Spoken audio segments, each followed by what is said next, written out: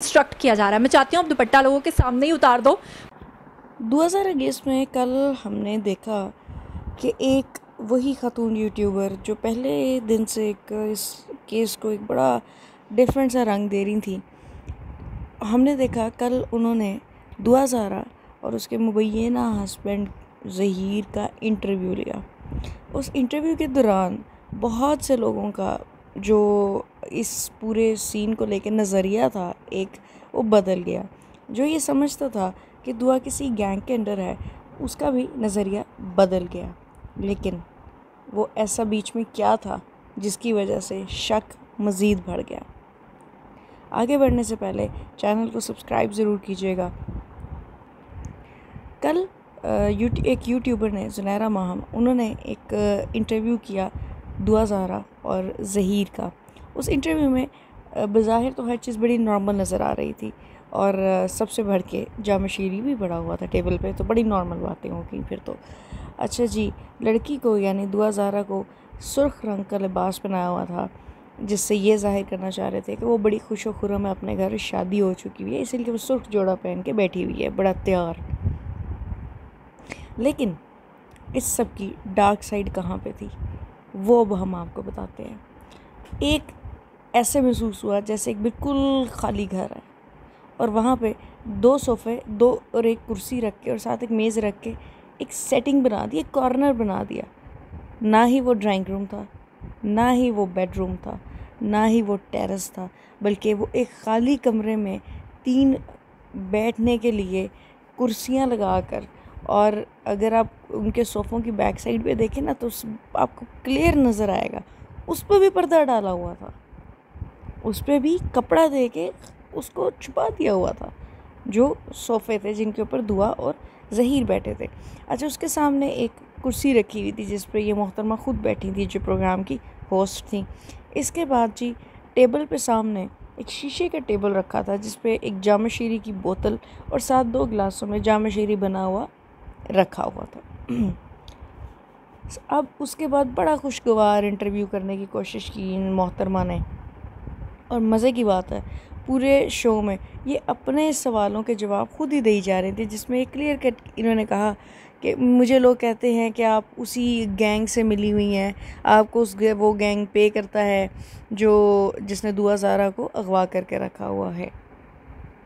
ठीक है, ये इन्होंने खुद कहा बीच में। उसके बाद दुआ की आई साइड की बात शुरू हुई। ये सीन अभी हम आपको बीच में क्लिप भी दिखाते हैं। दुआ की आई साइड की बात हुई तो इस मोहतरमा ने कहा कि वो लोग तो कहते हैं आप देख नहीं सकते उसके बगैर जबकि ऐसी बात नहीं थी। उन्होंने कहा था कि इसकी आई साइड इतनी वीक है कि इसको ज़रूरत पड़ती है अपने नॉर्मल कामों के लिए ग्लासेस के। मुझे भी ग्लासेस लगे हैं, जिसको भी ग्लासेस लगे होंगे, आप अगर उनसे पूछें तो वो आपको बताएँगे कि ज़रूरत पड़ती है ग्लासेस की। माइनर से माइनर नंबर भी हो तो ज़रूरत पड़ती है। तो इतनी देर में वहाँ से हवाई कोई मखलूक आई ठीक है, अब आप आगे समझ सकते हैं। और अभी टॉपिक शुरू हुआ था मतलब और वहाँ से एक हवाई मखलूक कोई आया और उसने आके ग्लासेस जो है वो दो हज़ार के पकड़ा दिए। क्या ये नॉर्मल था? या इसका मतलब ये है कि उस टाइम पे इंटरव्यू के दौरान उस बच्ची के इर्द गिर्द अभी भी बहुत लोग मौजूद थे। ज़हीर कहता है कि मैं आईफोन की रिपेयरिंग कर लेता हूँ आईफोन की सेल एंड परचेज़ कर लेता हूँ तो मेरा काफ़ी गुजारा हो जाता है महीने का। ठीक है, हम मान लेते हैं। आजकल मैट्रिक के बाद भी बच्चे इस तरह के बहुत से काम कर रहे हैं जिससे उनकी आमदन जो है वो बढ़ रही है।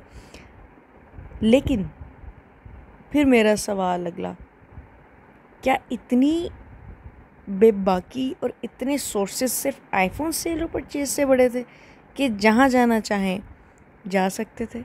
सूबे शिफ्ट करना चाहें, कर सकते थे। पुलिस हो गई, अदालत हो गई चकमे पे चकमा दे रहे थे। हुकूमत को भी। हुकूमत के जो बशिंदे पीछे पड़े हुए थे, इन्हें बाजियाब करवाना। तो क्या मेरा सवाल फिर वही है, क्या एक आईफोन सेल एंड परचेज से इस बच्चे के इतने ताल्लुकात बन गए कि ये कहीं भी जाके छुप सकता था और ये उसने एक महीने से ज़्यादा चकमा दिया है पुलिस को? और ये जो इदारे हैं जो इसको तलाश करने में दुआ को, सरगर्म थे। इस तरह का इंटरव्यू बेसिकली किया क्यों गया? ये इंटरव्यू इसलिए किया गया ताकि जो अभी एहतजाज चल रहे थे, ताकि जो अभी एक पूरे कंट्री में ना एक इस तरह की वेव आई थी कि जो हर बंदा अब कह रहा था कि दुआ का जो डिसीज़न आया, वो गलत डिसीज़न आया। वो डिसीज़न उस डिसीज़न के बाद ये प्रूव हो गया था कि दुआ जो है वो किसी एक गैंग के, किसी ग्रोह के अंडर है, ठीक है? उस डिसीज़न को, उस सिनेरियो को चेंज करने के लिए, बदलने के लिए ये बात यहाँ पे लाई गई कि इसका ये इंटरव्यू कर लिया जाए। अब इससे भी मज़े की बात अगर मैं आपको बताऊँ, किसी और यूट्यूबर को अलाउड नहीं है दुआ साथ इंटरव्यू करना। इसके माँ बाप को अलाउड नहीं है दुआ जहरा को कि वो उनसे मिले। पुलिस को अलाउड नहीं है। कोई बंदा उससे बात नहीं कर सकता, उसका इंटरव्यू तो दूर की बात है, लेकिन एक यही ख़तून इंटरव्यू कर सकी जो पहले दिन से इस केस में अपोजिट थी। इसी बात में सारी कहानी ज़ाहिर हो जाती है। इस वीडियो की वजह से अपनी आँखों पर पट्टी मत बांधिएगा और दुआ की बाजियाबी के लिए कोशिशें करते रहिएगा। वसलाम